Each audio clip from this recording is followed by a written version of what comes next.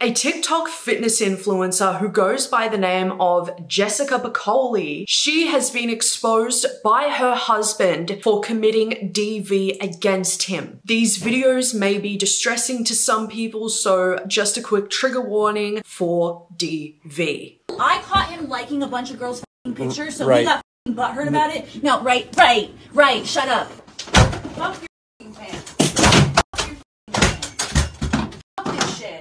Anything.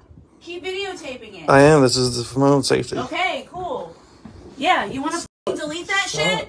I will literally call the f***ing cops on you right So in the first video, she is seen trying to hit this man over him liking Instagram photos. Now, this may be a boundary in your relationship that you you don't mess with. You do not like your partner liking posts of other women and that's fine. But what is not okay is going up to somebody and hurting them for doing this. Not only do you feel the need to scream and yell, but you're hurting this guy for liking Instagram pictures. And what's even worse is that some psychotic women are under this post saying, goals, that's so me. This isn't funny. And the funny thing is, about this is that if this were a man doing it to a woman for liking Instagram photos, could you imagine what these same girls would be saying? Like, what is wrong with y'all? And then, as you saw in the second clip, she is seen literally breaking this guy's fan and then saying that she's gonna call the cops on him for recording her. Now, here's the thing she went live a couple of days ago and she had this to say about the entire situation. Listen, guys, I'm so sorry. I get it. I was wrong.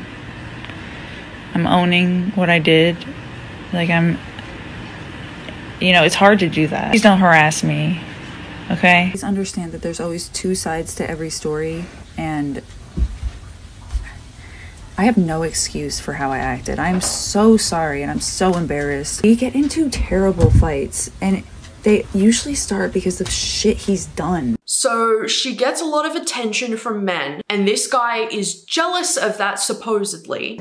I think he's just jealous because I get a lot of attention. The fact that this guy, her husband, Jessica's husband, had to record this for his own safety is very, very alarming because this is not the first time that it has happened, it seems. And what is even more concerning is the fact that, you know, he thinks that nobody would have believed him if he came out and said, you know, this buff chick is abusing me. Men would have just laughed at him. But it's exactly what's happening over on TikTok. Not only are men laughing at this man for being abused by his wife, but there are comments, she's just being a dummy mommy. I don't see a problem. I need her. And that's another issue with this kind of stuff. Like, you need serious therapy if you think that she's just being a, a dominant mommy. Like, you're actually in the head for real. Because if the genders were swapped and it was the other way around none of y'all would be saying this. In fact the guy would be getting cancelled everywhere as he should be. But the same thing should happen when a woman is exposed for being a toxic abusive piece of shit. And that is exactly why I'm doing this video today because she has been very very strange about this whole ordeal and I think she wouldn't have expected to be exposed by her husband like this. But I'm sorry, if I was going through the same thing, I would want to get some footage of it too. Now, I want to address another set of comments that people are saying and are saying like, why didn't he get up and fight her back? Because you, you're just not supposed to do that to a woman, no matter what. I mean, personally, I don't believe in violence, but if you're gonna fight me, I'm gonna fight you back, no matter what gender you are. It's just really sad because of what everyone is saying. It's mostly really toxic men who are calling him weak for not getting up and fighting her back. I'm glad that he got this on film and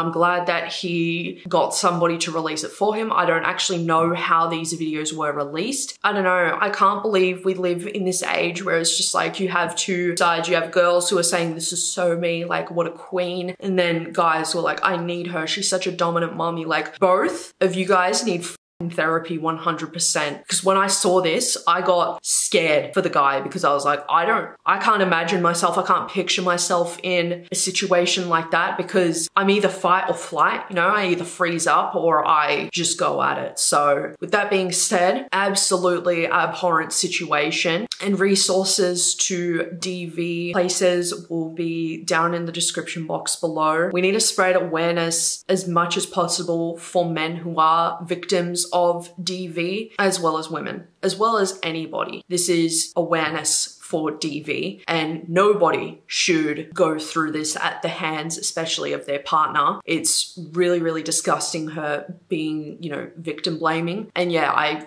I just hope she receives the consequences that are due for her. So, with that being said, that is all we have for today. If there are any other updates on this situation, I will definitely let you guys know. And with that being said, I will see you all soon. Take care of yourselves, and most of all, love your fucking selves.